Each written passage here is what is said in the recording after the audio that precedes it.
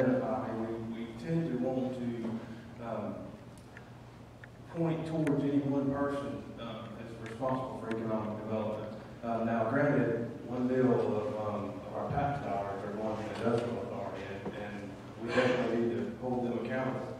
Um, that- that team's put in place to, uh, to, to generate business and promote growth and, um, and, and to expand local businesses as they exist today. Um, but, but I think that there's so much more to that, that we need to, uh, we all need to take a vested interest in economic development. You know, um, I think it was Eric said a minute ago, you know, it starts with our school systems.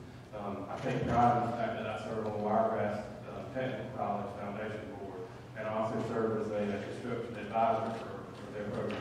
We have ninety percent, uh, placement rate in the field, um, out of Wiregrass Technical College. So, I feel like that when we talk about economic development, again, it, it's everybody's responsibility. We have to, we have to show our neighboring communities and other areas of the state and the country that, um, that we are the place to be. So, um, yeah, that's it. Thank you, Joe. Thank y'all for being here, thank y'all for having me here. I'm Jody Hall, I'm Commission District Two. Economic development, that, like I said, that is a big word. Uh, We have the industrial authority in place, they've done a fantastic job so far in getting the infrastructure into place.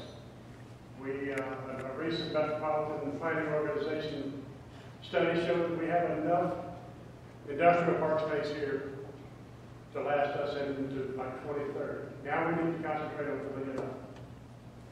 We need to all work together, not just the industrial authority, not just the county commission, the city councils, everyone in this entire county needs to work together. We need to work with Valdosta State University.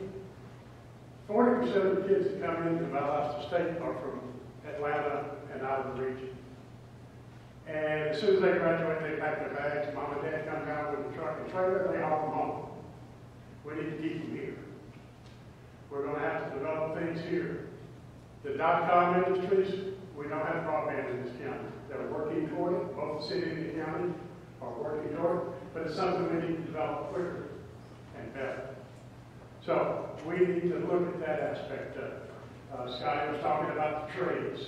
There's a, a program called Build Georgia. Right now, when one electrician retires, or one plumber retires, uh, it, it's, uh, there's no one coming in behind them.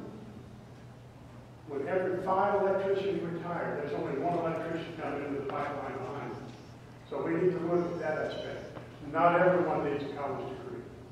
We need people that can work with our infrastructure and, and work on it from that direction. So, uh, I have to pass